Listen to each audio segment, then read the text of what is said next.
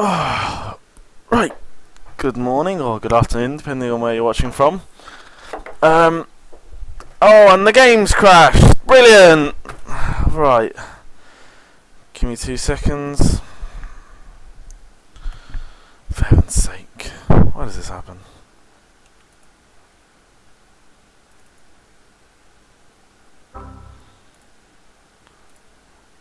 Right. Take numero dos. Oh god, and I've upload and I've opened the wrong thing, haven't I? Um, um, um.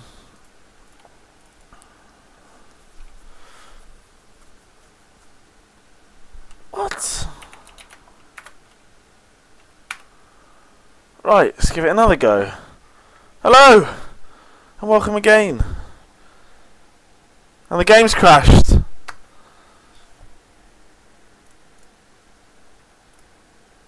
I blame Xfire. I'm just, I'm just gonna turn Xfire off. That program is severely bugged. I just, I've given up using that thing.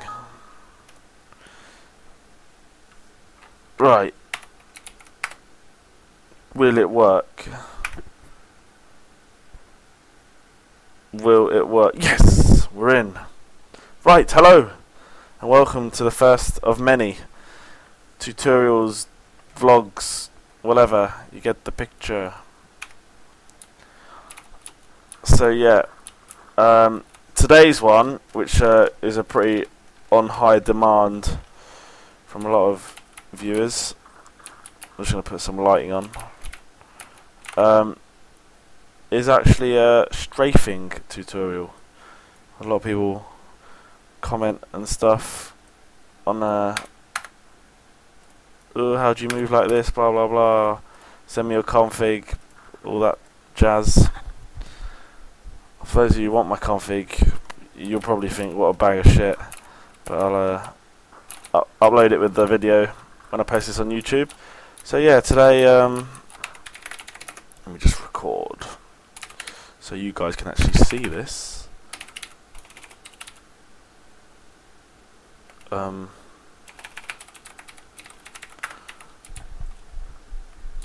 right, there we go.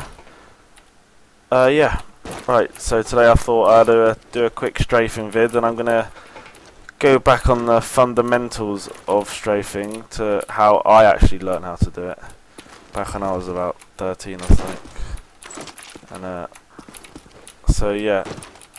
I'm gonna change the map to crash as I think it has some actually no I, I can do it on strike. Right. Strafing. What is a strafe? First of all for those new to the game or new to how Quake the Quake engine works and how movement works and stuff like that a strafe jump is just a simple bug in the engine's code which if you do a certain action whilst jumping with both your keyboard and mouse you jump further basically you jump further and you jump higher which obviously allows you to get to places quicker or get to places which you shouldn't normally be able to I'm going to jump straight in it. I don't want this to be a too long vid. The time is currently 3.30 in the morning. I've just come back from the cinema, knackered. Uh, I watched Megamind, by the way. Awesome film. If anything, one of the top movies in 2011. I think it will be. I think it's going to hold its own. But yeah, back to the vid. Um, so how I learned how to strafe, because I was during COD 1, I had no idea how to do it either. I was told that when you jump, say there's two types of strafe. You've got the strafe left, and then you've obviously got the one which I can't do so well, simply because I'm right-handed, is the strafe right, and I can't really do it because that's awkward. Normally, uh, if I were to strafe right, I'd go to the right and then strafe left, but um, I never actually strafe right. But yeah, how I was taught how to do it is um, when you're in the air, you kind of make a U shape. You make a half, a half circle, a semicircle, depending on where you want to go. I wish I had like a graphics tablet or something because I could show you with like a pen the certain points. Wh- when you want to begin your jump, you kind of meet like a point to say, I want to jump from here there, and I want to reach, say, there. And it's never just a straight jump, a strafe jump. It's always your mouse movements have to go from one spot to another. So say, so just for an example, there to around there would be, and it would be started off from that point, and you'd end up on that point. And a typical one that people ask me is this. The reason why this is such an influential one is uh, for the A rushers. If you were to strafe this wall and then dive across, you take full damage. Once you take full damage, your sprint resets. So then you could go back on and carry on sprinting and blah blah blah. And it'd be a lot quicker for you to enter the site. So, how this one works. Actually, I'm going to add another thing to this tutorial wall strafing. And that's I'll, I'll come to that later. But, um, so yeah, you kind of have to follow the whole U shape. So say if I were to do this, I would go here, I look down, so say I'd just pick a point. It's not the same every time, so I'd pick, say, the bottom of those stairs, and then I'd kind of curve it all the way to about that car. And I'd do this completely automatically every time. Obviously, I'm know what I'm doing. If you slow mode it, it would be something like that. Not exactly, but it would be the mouse moves from one point to another. And um, this is just the mouse movements, by the way. There's our other stuff. So say I'll do it again, just from there to around wherever. Just as you jump, that movement should occur one spot to the other. Obviously, if you're left-handed, you it'll be it'll feel more natural for you to go from left to right. So it would be something like well, I have no idea, but you'd have to just probably somewhere along this wall and maybe around there by the window. So it'd be and just like that. Pick one point to the other as you jump. That's pretty much the whole mouse movements. The other thing is now the crouch jump aspect. Also in this game, if you jump in a certain direction and in, in the air, you press you press your space bar and then your crouch key whilst you're jumping, you also go further. Simply because you have a lower landing time because your feet are in the air. So you have to kind of combine this with the movement of the mouse. So it would be just run and then look there. Oh, messed it up. One second. I'm not, I don't normally do it this. I'll show you wall strafing afterwards. It would be something like that. Crouch in. As I jump and I do that movement, it's jump, crouch, and look left. I wish I could, I could probably slow it down when I do the final vid. But um, yeah, that's literally all it is. Make the whole half curve with your mouse from one point to the other, depending on which way you're going to strafe, whether it's left or right. Of course, the actual jump could be in a straight line, but I mean the, the, the mouse movement you choose has to either go from left to right or right to left. Um, but yeah, uh, the last part of the vid I wanted to show was actually uh, wall strafing. Now this, I use it all the time entwined with the actual strafe jump because wall strafing allows for you to go faster. For those who didn't know, this is a normal run speed. So if I just run forward like that, this is your casual run speed. It changes say if you run along a wall. Basically you run but instead of instead of just holding down forward you also kind of push yourself up against the wall. So if I could show you right now I'm pressing both my W and my D key. And I'm walking along. You don't really lose speed at all. You when you're walking it's kind of the same pace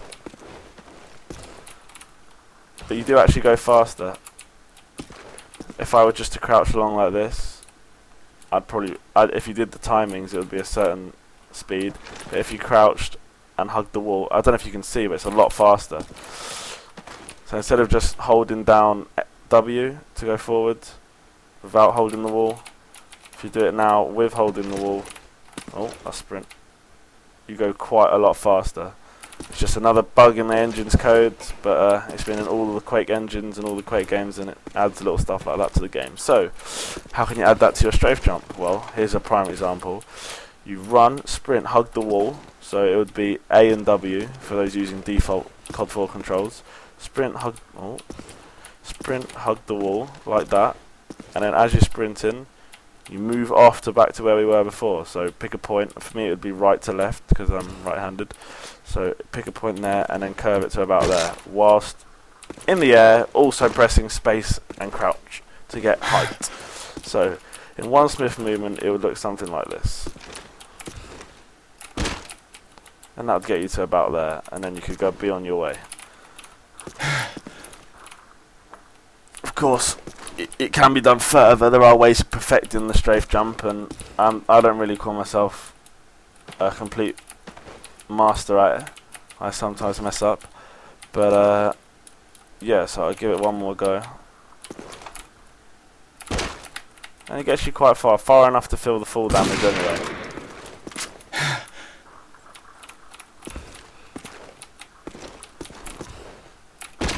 And if you wanted to, if you are like me and you feel only comfortable strafing from right to left, and you kind of want to exit that point so you could strafe run that wall into the A site, then instead of coming off from this point and pointing there and there, actually venture off a bit earlier from here to about this to this point, and then do that, because then you'll land somewhere around there instead of around there, and then that gives you a good a good pathway onto that wall.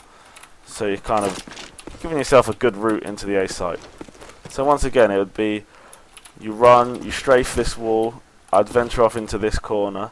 I wouldn't pick a point, I'd do it automatically, but I'm just saying for the purpose of this vid, kind of pick a point, and then from there, do my half curve, or whatever, my mouse movement, and then also whilst, whilst I'm doing it, jump and crouch in the air. So just like that. And then from there, you can kind of land, and then carry on your sprint, run along this wall, and then, of course, strafe right into the A site. And this is primarily the the core behind the A rush. This is the this is the standard A rush. This is all you get the the top guys doing, especially people with good movement. This is all they really work on. So yeah, back to basics. I'll give it a one more run through. You run, you run, you strafe along this wall, come to the point, jump and crouch, pick a point at the same time. Obviously, if you're doing it while sprinting, you land, you kind of crash onto the ground, you take full damage. Sprint back off there, run along this wall, blah blah blah, and then strafe rightwards onto there, and then do whatever you want to do really. Just a good way to get into the A site. So I'll try and give it one perfect run through. As I said, I'm not doing any takes or anything, this is just simple whack on the microphone recorder. Um, also, any feedbacks on like just how the game looks or is my mic's bad quality or you know that sort of stuff. I do use the worst config known to man, it just looks like shit. So um, yeah, but I'll try and give this one more final run through as to how I would do it. It would be something like this and I'd normally run out of sprint about here and then there you go. So that's that. Yeah I thought I'd get this tutorial out. A lot of people have been wondering about strafe and they kind of buzz like kind of bewildered. A lot of people who come from CSS which doesn't doesn't have the Quake engine so it doesn't have stuff like this little movement perks because uh, movement is quite a big part of this game actually. I'd even put it past aim on a lot of occasions as being the core attribute in this game um, so yeah, I thought I'd post this tutorial up on the channel. I haven't uh, posted much on my channel in a while. Been doing a lot of uni stuff and that sort of stuff. Uh, but yeah, for those who don't know, I'm back playing with uh, Meet Your Makers. Um, we haven't played in a while. After Gamers Jack, for us, Gamers Jack was a pretty interesting LAN, to say the least. and yeah, I'm just kind of gonna try and get back into the scene. I thought I'd bring this video to you guys as a thanks, if anything, thousand subscribers. It's quite a big achievement, and uh, for someone who isn't really a big media influence on YouTube, uh, I'd like to thank you guys for supporting me and watching this stuff. So yeah, I'll probably upload more vids. I was going to do some demo commentary, but I'm having problems with like my hard drive and all that. I don't know technical stuff. But yeah, I'll try and get some more vids up ASAP and uh, send them over to you guys. So yeah, thanks for watching and uh, stick around.